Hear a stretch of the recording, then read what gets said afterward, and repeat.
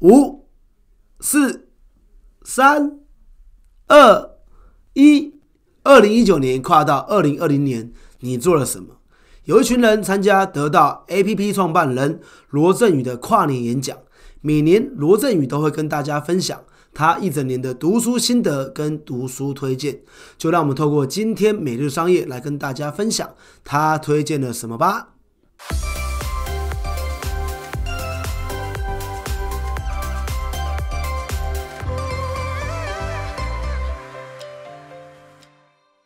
焦点观点 Plus Daily Commercial 每日商业十分钟交流一个商业观点，我是阿峰。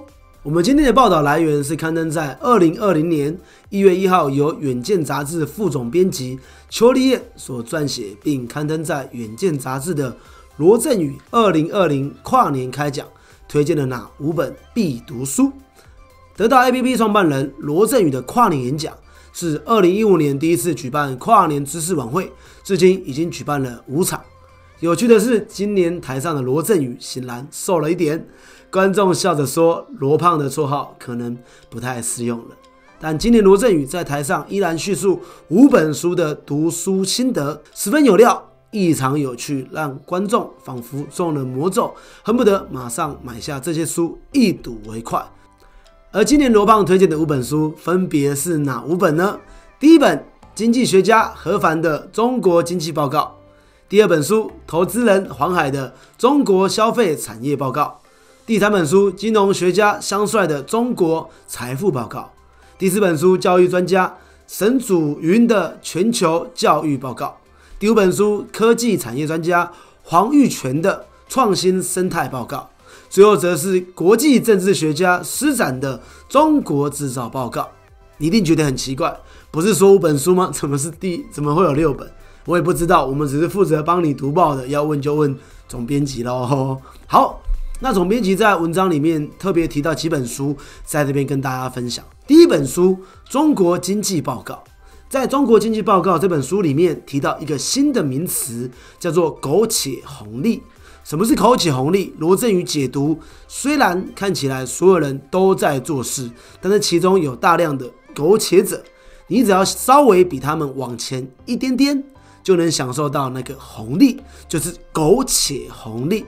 罗振宇指出，另一个说法就是比别人更多做一点。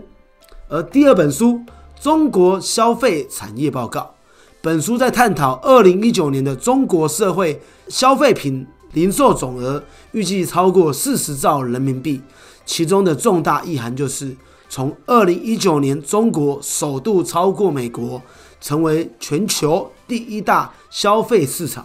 那中国消费市场的机会在哪里呢？书中给的答案是利用中国红利和新基础设施，创造一个世界级的品牌。有兴趣的朋友可以去买书看，我自己也非常好奇。第三本书则是《中国财富报告》。本书分享两个洞见观察：第一个是二零一八年中国居民的可支配收入中有七十三 percent 来自劳动所得，这不是中国自己的现象。即便在美国最顶级的富人里面，劳动收入也占家庭总收入的一半左右。换句话说，钱生钱其实是少数，人挣钱才是多数。而第二个洞见。是什么呢？随着中国开始进入人均一万元的社会，以及人工智慧普及化的影响，中国人的财富状态正在发生结构性的变化。概括起来，就是在说人和人的连结正在决定社会财富的创造、分配和转移。而罗振宇对于本书的感想是：一个人的财富基本盘由两个部分来组成，第一个。自己的本事，第二个和其他人连结的本事，或者是前者的放大器。好的，今天的美丽商业就到这边。二零二零刚开始，今年的过年又特别的早，我想大家应该迫不及待想要放假了吧？我自己很想放，大家不妨来读读刚刚推荐罗振宇所推荐的书，让我们过个充实的一年。但不只推荐读书，更鼓励大家可以加入我们焦点观点 Plus 的社团。就像罗振宇所说的一样，财富基本盘，第一是自己的本事，第二是和其他人连结的本事，而且更是放大器。所以，透过在社团当中跟人互动交流，让我们商业观点成为我们的放大器。最后，想邀请每一位对新创、商业、科技有兴趣的朋友们，欢迎点击资讯栏连接，加入焦点观点 Plus 社团，让我们一起讨论世界商业生态。焦点观点 Plus。Daily Commercial，每日商业十分钟交流一个商业观点，我们下次见，拜拜。